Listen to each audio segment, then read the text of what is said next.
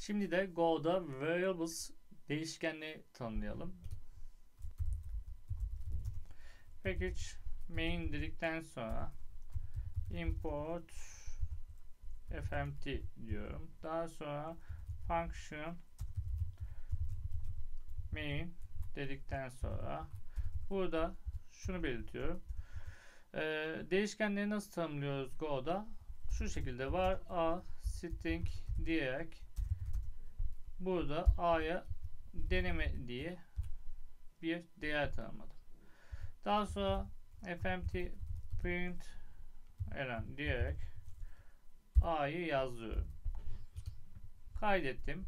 Sonra go run main nokta go dedim ve deneme değerini gördüğünüz gibi değişkenimden aldım.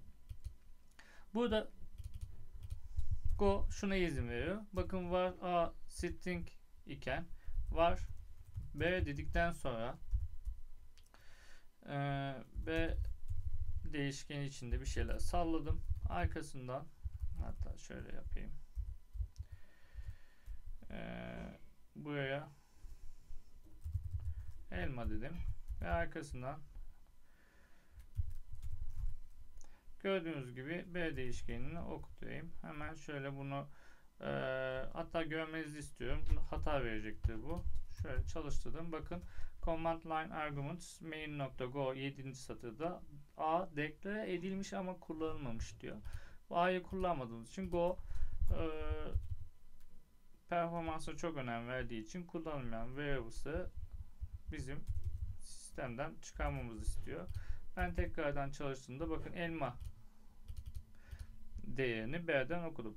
Bakın burada iki farklı string tanımlama var. Bu iki farklı string tanımlamadan birinde string olduğunu belirtiyoruz, diğerinde yok. İşte bu dynamic type yani dinamik e, olarak burada string olduğunu belirtmeden Go bunun e, string olduğunu biliyor. Yani Go hem static e, variables tanımlamaya hem de dinamik olarak variables tanımlamaya izin veriyor. Buradan baktığımızda bir başka variables tanımlama şekli şu. Ben C'yi de şöyle tanımlayayım. C de portakal olsun. Şimdi ben C'yi burada okumak istediğimde hatta şöyle yapayım.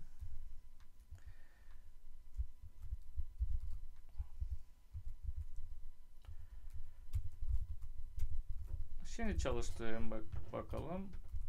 Bakın ben A'yı, B'yi ve C'yi e, aldım. A'yı tanımlarken string olduğunu belirttim. B'yi tanımlarken var diye başladım ve B'nin string olduğunu belirtmeden e, string bir değer atadım. C'de ise ne var yazdık ne de string olduğunu belirttik. Bu Go'nun en güzel taraflarından birisi. Hemen ben buradan variables'ın e, hatta değerinin de ne olduğunu buradan bilebiliyorum. Ona birazdan bakalım. Burada aynı zamanda ben e, var D ve e, K ve M değişkenini integer olarak tanımlayayım ve eşittir 2 ve 3 olsun. Bakın burada ben şimdi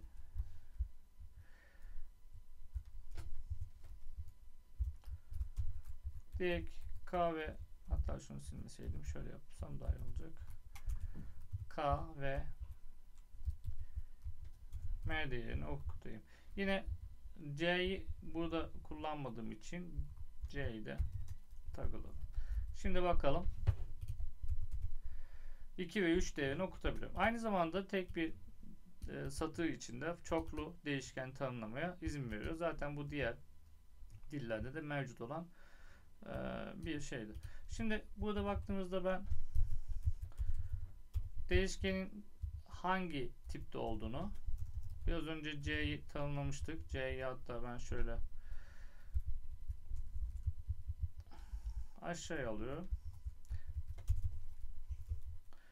Burada C'yi ne olduğunu, tipinin ne olduğunu görmek istiyorum. Onun için de şöyle bir şey yapıyoruz. Yukarıdan import reflect. Ve arkasından ben burada reflect nokta type of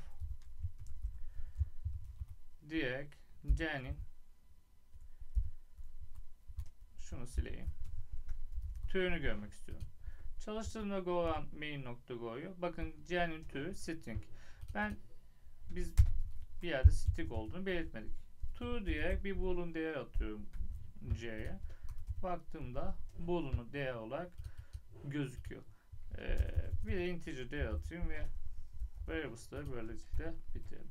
Baktığımda integer olarak da bana ne olduğunu e, gösteriyor.